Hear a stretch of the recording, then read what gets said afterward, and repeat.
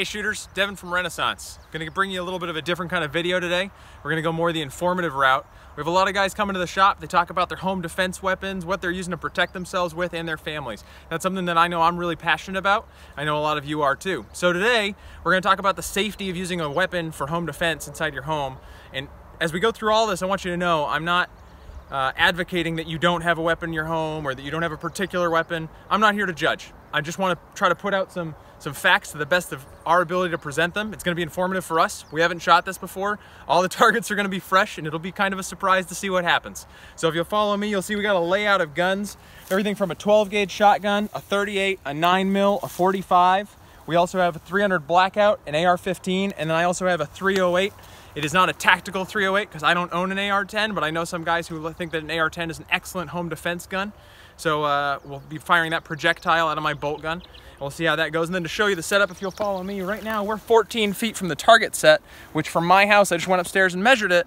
14 feet is from my bedroom to the furthest wall. Now from that furthest wall, I have standard 2x4 construction now this is 5 8 inch sheetrock. This is uh, up to fire code and we spaced it with no insulation because it's going to be an interior wall. And then my stairwell is on the other side and that's 46 inches wide. And then from there, I have my first bedroom in my home and that's approximately 96 inches long and a little bit deeper too. And then I have my, my daughter's bedroom on the other side of that. So I have a guest room and then my daughter's bedroom. So today we're gonna be testing what kind of projectiles I could shoot in a worst case situation in the dark, what would happen if I missed. So what happens if it goes through that sheetrock, if it doesn't stop in the bad guy, or if it overpenetrates through him as well? You know, it's gonna be dark, you're gonna be scared. I don't think we're all gonna guarantee that we have a 100% hit ratio. Some of us will, I'm not gonna. Um, so we're gonna plan for the worst. We're gonna see what happens. Then if we just see that we're penetrating all of them, we'll we'll start stacking up. We got extra frames built over here to uh, to test. So we're gonna test shotgun, rifle, pistol. I hope you enjoy the video, and uh, I'm pretty excited to see what happens. Let's check it out. So today we're gonna start it off with a 22. Personally, in my humble opinion, I don't think you should use a 22 for home defense. It's kind of like shooting a BB gun at a bear. Um, probably not gonna be the most effective stopping round. Uh, you'll also notice we're shooting off a Ruger with a uh, Surefire can on it. We're doing that mostly to keep my neighbors from complaining. So uh, later we'll be shooting some ladder things that don't have cans, so we might as well use them while we can. Um, I would not recommend using this in a home defense situation because it hasn't really been established what would happen as far as police confiscation of the weapon because if you use a gun in self-defense it's going to go to the police at least until you're cleared. And uh, you wouldn't want to complicate that things by having a can. So just want to say that's why we're using it. Let's see what we do.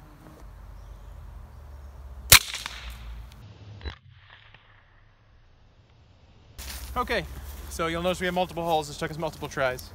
That was my third shot. Third shot. Third shot and we're having some pretty serious bullet deflection. I don't think that's it. Nope, that's not it. So uh, the bullet veered off and didn't hit it. So we're gonna say that it at least is gonna go through the stairwell and it's gonna go into my guest room. So if I got anybody in there, it's probably not around I wanna be using. Okay, next up, I don't think it's gonna be too terribly surprising what this does, is a 5.56. Lots of guys talking about how they're gonna bring in their CQB-AR and start sweeping the house all power to you, buddy. Let's see how it works out.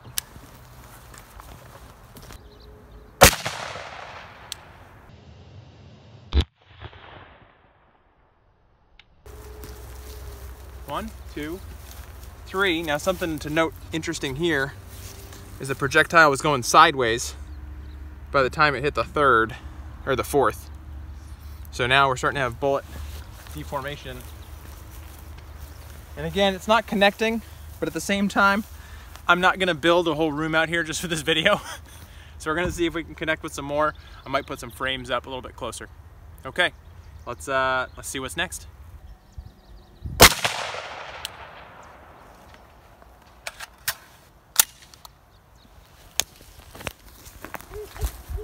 So we shot again, we added a couple frames. Holy cow, that bullet went sideways. This is my first shot, this is my second. This is a new frame this is an FMJ round. Look at it sideways, totally. Totally through here. Giant blowout.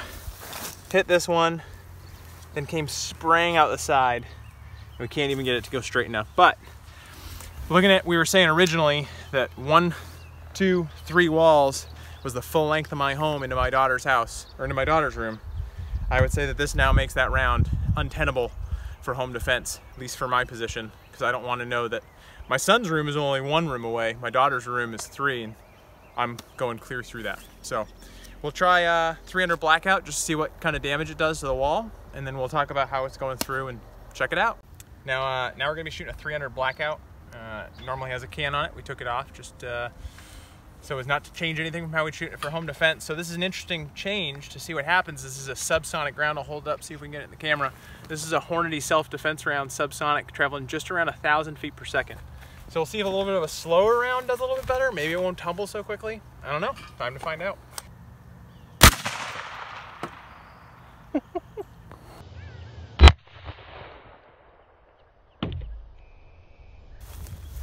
One, two, real big hole. Three, bigger hole. Four, very holy cow. That's you can where you can see on the backside the bullet expansion just blown out from the other side, much bigger hole. Four, and this one was pretty new piece of wood. Okay, so here you can see it shrapnelled and broke apart because it's a defense round. And then that hit the last one and just totally destroyed this frame. Uh, but of note, it kept going so whatever the slug was, the lead part of the shell, continued through. This is now the one, two, three, four, five, six, seven, eight. Pretty true to its course, actually. And then somewhere between eight and nine, we still have no penetration. So uh, that was a subsonic round in a 30 caliber. So it should be a slower bullet, less kinetic energy. You'd think it would penetrate less. Uh, I'm looking back at these frames thinking maybe we're gonna have to look somewhere else. 12 gauge, I've been told that the Second Amendment was meant so that we can make this noise because that's gonna scare the living death out of everybody. But in case it doesn't, we also, we're gonna start with birdshot, which is kind of a interesting choice, right? Not exactly gonna be lethal for a man unless it's up close, but then let's see how much, I've always heard it'll never penetrate more than two layers of sheetrock. Well, today we're gonna find out. You'll notice I'm sitting from the shooting, or shooting from the sitting position, and that's because our sheetrock's down low, so this is just to get the right line of fire through the uh, sheetrock. Let's see what happens.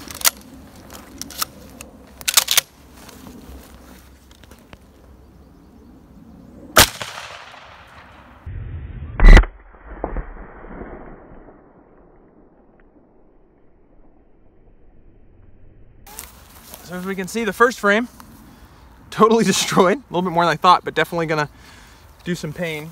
It hit the second, actually broke it off its base. Still got a lot of penetration. Went through the second frame, or so that's the fourth, and went all the way into the fifth. And now you can see there's some BBs stuck. I got one, two, three, four pellets of penetration, and that's, they're all stuck right here. And they bounced right, right there. So I would say if you're gonna shoot a shotgun in your inside your house, I'd be thinking about what's definitely in the next two rooms. Definitely not the third. I think this is gonna make the uh, buckshot and slug a little less uh, exciting. So we'll check that out next. So we saw the birdshot. Now we're gonna try buckshot, see what happens. I'm gonna shoot through the same frame, just a little bit lower down, see what our penetration looks like.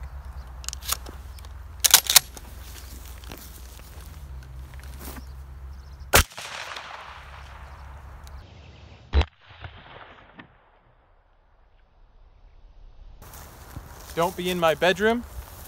Don't be in my lat in my stairway. Almost called it a ladder well. So you can see there's a pretty tight buckshot pattern. This is double aught buck, American gunner.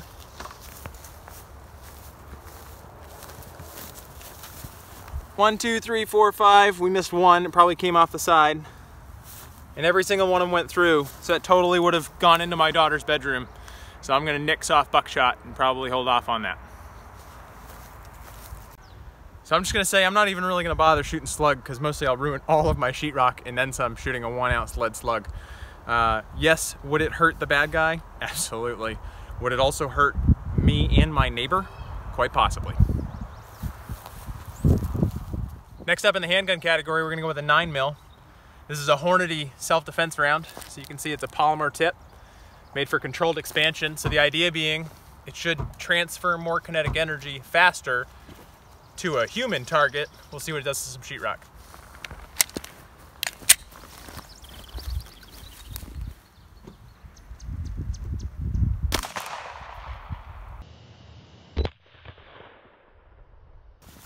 First round, second round, third sheet, fourth, fifth bullet starts veering off. And definitely was going through the sixth, so if we said this is the stairwell, this is the next room, we're pushing into the third room, assuming that we're not gonna lose too much feet per second. That's from the 300 blackout, we just kept the frame. So, okay, nine mil, uh, pretty impressive penetration. Uh, let's check out what we get with a 38. Okay, next up, snub nose 38. This is a Smith, uh, Smith & Wesson 642 in 38. Uh, I have Federal plus P ammo. Again, these are hollow points, jacketed, made for self-defense. This is Speer.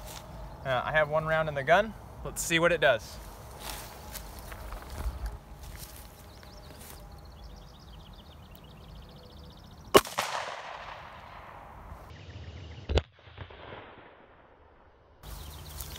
One, two, three with some shrapnel. Four, much bigger hole. Five, you can see now we got a bullet going sideways. Six, bullet going sideways. Seven again, that's the that's the 300 blackout, so not what we're looking for, but again, stairwell, first room, second room. Starting to think I might use pepper spray, I don't know. Okay, up next, a Kimber Tactical, 1911 and 45. Again, I'm shooting that Hornady Critical Defense uh, jacketed hollow point, so we'll see what happens.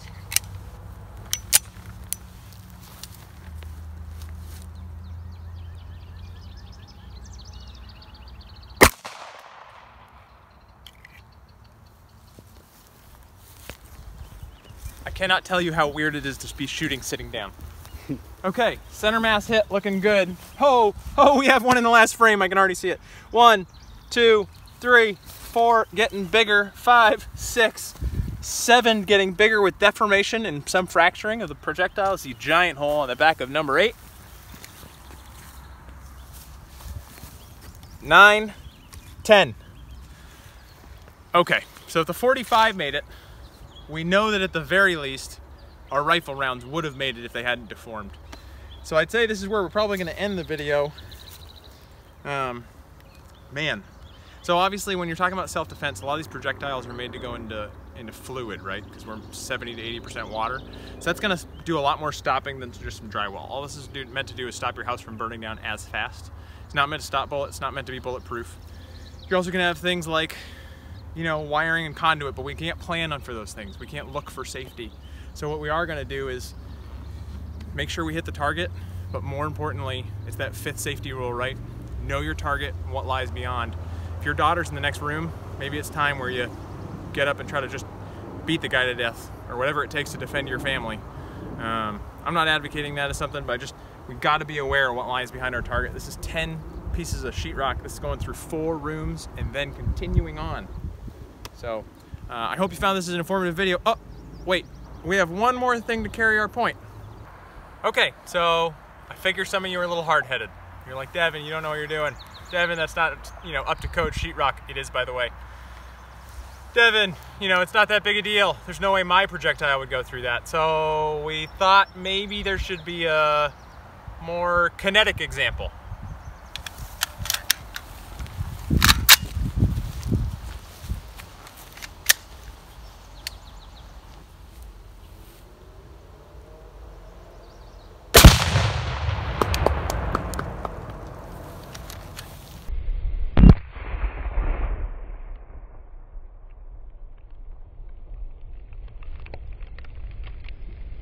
And that, kids, is why home defense in the home is a very serious subject with a not so serious ending.